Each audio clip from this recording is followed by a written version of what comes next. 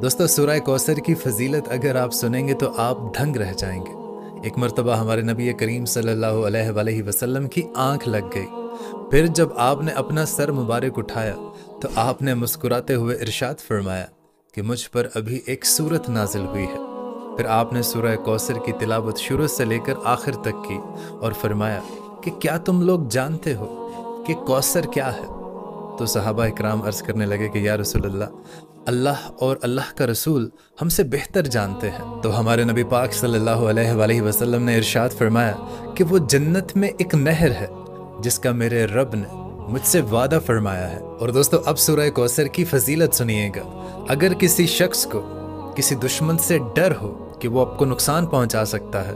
तो उस शख्स को चाहिए कि रोज़ाना कसरत के साथ सूर्य कौसर की तिलावत किया करे। अल्लाह पाक उसको दुश्मन के हर शर से महफूज रखेगा। और दोस्तों, जो शख्स सूर्य कौसर की हर रोज़ तिलावत करता है तो अल्लाह ताला उस इंसान के रिस्क में इजाफा फरमा देता है और उसके माल को हर बुरी नज़र से बचाता है। और दोस्तों, अगर आपकी शादी नहीं हो रही और आप चाहते हैं कि मेरी शादी उस जगह हो जो मेरे लिए बेहतर साबित हो या जिस शख्स को अगर आप पसंद करते हैं, आप उसी के साथ शादी करना चाहते हैं तो कसरत के साथ हर रोज़ सुरह कौसर पढ़ने का मामूल बना लीजिए। इन ताला, अल्लाह के फजल करम से आपकी शादी अपने मनपसंद शख्स के साथ होगी, या वहाँ पर होगी, जो आपके लिए बेहतर साबित होगी। और दोस्तों, अगर आपके जिसम के किसी भी हिस्से में दर्द रहता है तो आपको चाहिए कि आप जैतून का तेल लें और 21 बार सुरह कौसर पढ़ें। अव्वल और आखिर ग्यारह ग्यारह मरतबा आपने दरूद शरीफ पढ़ना है और उस तेल पर आप दम कर लें और उस तेल से फिर जहाँ पर आपको दर्द है, उस हिस्से पर आप मालिश करें।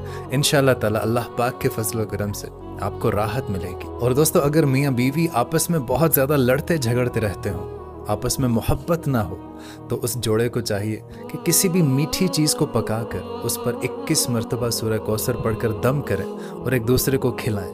इन ताला अल्लाह के फजल करम से जोड़े में मोहब्बत पैदा होगी। और दोस्तों, अगर आपको लगता हो कि आपके रिस्क में कमी है तो आपको चाहिए कि रात को उठकर तहजद की नमाज़ अदा करें और नमाज़ अदा करने के बाद इकतालीस बार सुरह कौसर की तिलावत करें और अल्लाह ताला के हुजूर दुआ करें।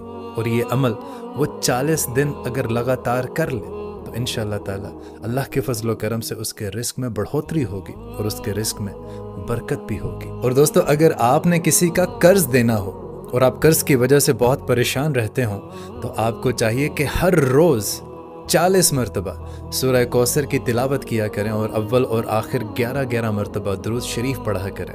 इन ताला, अल्लाह पाक ऐसे इसबाब पैदा फरमा देंगे कि आपका कर्ज अदा हो जाएगा। और दोस्तों, ये वजीफ़ा बहुत ही ख़ास है।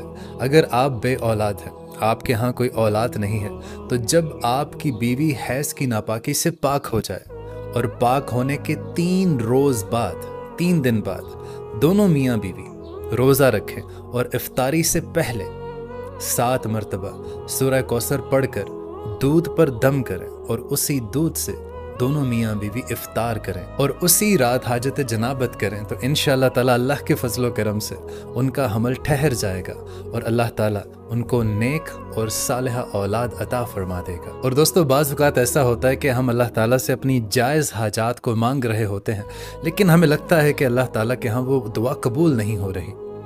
अगर आपकी कोई जायज़ हाजत है, आपकी कोई मुराद है जो पूरी नहीं हो रही तो आपको चाहिए कि मगरिब की नमाज़ के बाद सात मरतबा आपने सुरह कौसर की तिलावत करनी है और अव्वल और आखिर चार चार मरतबा आपने दरूद इब्राहिमी की तिलावत करनी है। और अल्लाह के हजूर दुआ करें और हर रोज़ करें। इन ताला अल्लाह के फजल करम से जल्द अज जल्द वो आपकी जायज़ जो हाजत है, अल्लाह ताला वो मुकम्मल कर देगा। और दोस्तों, अगर आप एक तालब इल्म हैं और आप चाहते हैं कि आप इम्तहानात में अच्छी कारकर्दगी करें, अच्छे नंबर्स लेकर आएँ तो आप खूब मेहनत करें। खूब मेहनत करने के बाद जब आप इम्तिहान के लिए जाएँ तो अव्वल और आखिर आपने चार चार मरतबा दरुद इब्राहिमी पढ़ना है और सात मरतबा आपने सुरह कौसर की तिलावत करनी है और फिर आप अपना पर्चा जो एग्ज़ाम है, उसको हल करें।